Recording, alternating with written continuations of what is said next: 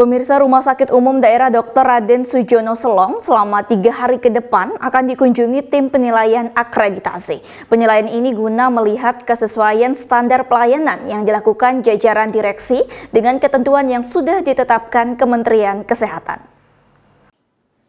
Untuk pertama kalinya Rumah Sakit Umum Daerah Dr. Raden Sujono Selong mendapatkan penilaian akreditasi setelah beralih status dari tipe C ke tipe B.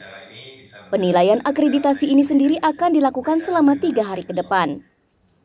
Penjabat Bupati Lombok Timur Haji Muhammad Juwaini Taufik pada kesempatan tersebut berharap melalui visitasi yang akan dilakukan tim akreditasi dari Kementerian Kesehatan selama tiga hari ke depan bisa berjalan dengan baik serta dapat memastikan standar penyelenggaraan pelayanan rumah sakit umum daerah Dr. Raden Sujono Selong.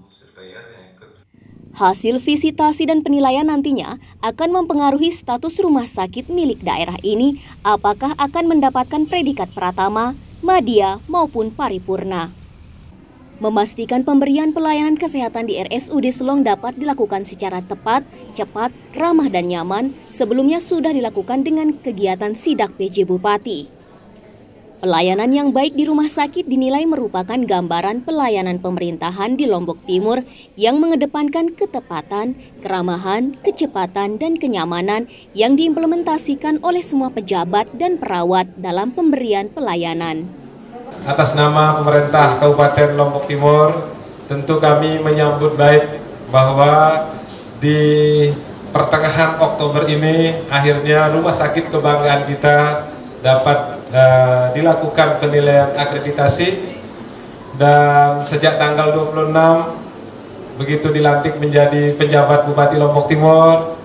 Uh, sidak pertama saya langsung ke Rumah Sakit Umum Daerah Sujono Selong tentu untuk memberikan kepastian pemberian pelayanan yang, yang excellent dalam moto kami di Lombok Timur paling tidak 4K itu kecepatan, ketepatan, keramahan dan kenyamanan benar-benar dapat kita wujudkan. Mengapa rumah sakit?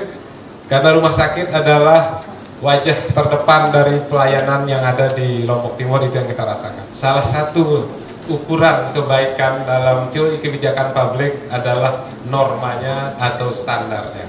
Saya pikir hari ini kita akan dinilai di supervisi eh, apakah norma-norma itu sudah kita jalankan dengan baik dari semua sisi pelayanan yang ada di rumah sakit. Sementara itu mewakili tim penilai, Dr. Eli Rosila Wijaya menyampaikan penilaian ini untuk memastikan pelayanan yang terlaksana di Rumah Sakit Umum Daerah Dr. Raden Sujono Selong sesuai dengan standar yang ditetapkan Kementerian Kesehatan. Selama tiga hari ke depan, tim penilai juga akan melihat potret pelayanan rumah sakit sekaligus akan membimbing jajaran rumah sakit guna menunjang pelayanan kesehatan yang dapat berjalan prima.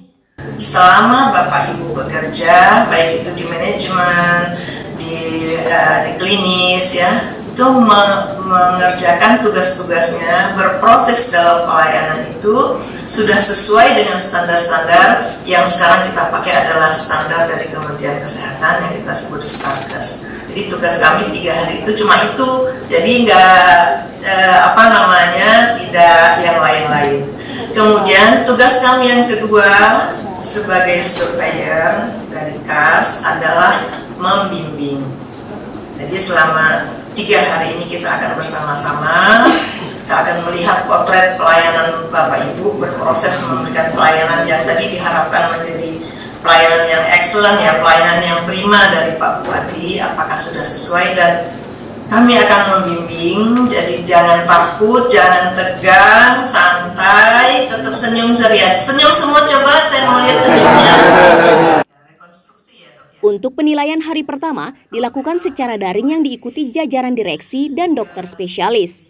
Penyampaian materi juga dilakukan pada hari pertama, sementara untuk hari kedua dan ketiga akan dilakukan secara offline dengan agenda peninjauan secara langsung. Ahmad Zulkarnain, lalu Halili, Selaparang TV, melaporkan.